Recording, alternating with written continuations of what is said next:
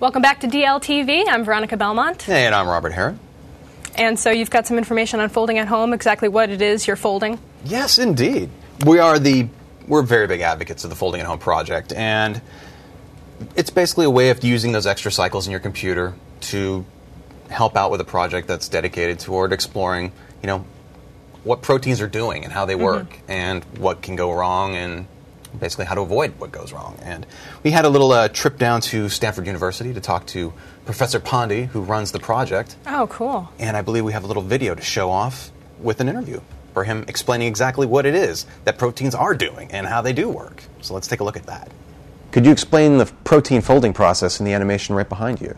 So what we're looking at here is um, a, a, one of the sort of landmark simulations from Folding at Home. It's a very long simulation. And the visualization does not show all the detail because if I showed all the detail, you wouldn't be able to see everything. So for one thing, I've removed all the water from the visualization. There's all this water that goes into the calculation because proteins in space aren't very interesting, but proteins in water are the way things work. But if I showed you all the water, you wouldn't be able to see everything. Also, in this protein, I've sort of colored things in different ways. That some stuff is compl- is solid, and some stuff is shown in these little sticks. These things are the amino acids that come off the protein backbone. And the protein is made up of like a chain of different amino acids, and each one has a different chemical characteristic. And I'm only showing the ones that, I, that are interesting for the purpose of this movie in spacefill. These are the ones that are hydrophobic, um, uh, the ones that are aromatic uh, from, in terms of chemical language. And what we're looking at here in this movie is that the protein actually did not fold so far. It's actually collapsed into something kind of random and, and misfolded. And in some ways, it's kind of a lot like someone who doesn't know how to parallel park that's trying to parallel park and that they you know they get into the space and they're kind of stuck there and once you're stuck you can't really sort of just fix it you, you basically have to do what you can or basically come out of the parking spot and come back in once it breaks out, it's actually going to come out and then, kind of like a drunk guy trying to parallel park, he's going to try to come back in, and it's actually not going to get it right on the second time, and then come back out and come back in. And every time it does it, though, it gets something a little more right, as we see in this movie, and that actually helps it fold on its way. So right now, it's still basically sitting in this first collapse state, although it's been exploring lots of different possibilities. So this is what we're seeing here is that this is one of the first unfolding events in this, part of the simulation. And um, it sort of came out of the parking spot and came back in, uh, it came out again and it's coming back in. And now it's basically uh, trying to do things, uh, trying to get to its folded state. And certain parts of what it's doing are right and certain parts are wrong.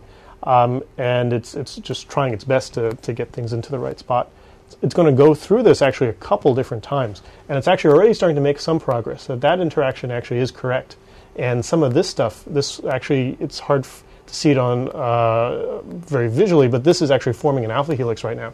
So this part's correct, and this part's correct. And actually now it's formed this triple part of the core, so that part's correct. And it just really needs to just be able to put these final pieces together, and actually, and that's when it does that. So it got each of those pieces and finally just sort of flipped around and locked in. And now it's actually basically folded. This part is actually intrinsically unstructured, so it's going to flop around like a flag but this part of the protein is, is the part that's folded, and it's pretty rigidly sitting there.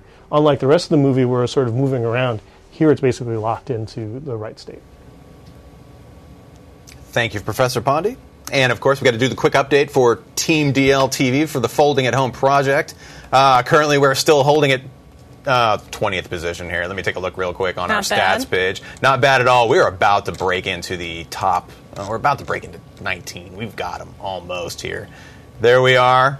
20th position in the world team rankings. Oh no, you're beating Team uh, Engadget. That's the team I'm folding on. Engadget, those punks. I better fold harder. They're going down. oh, they're, go- they're, they're gone.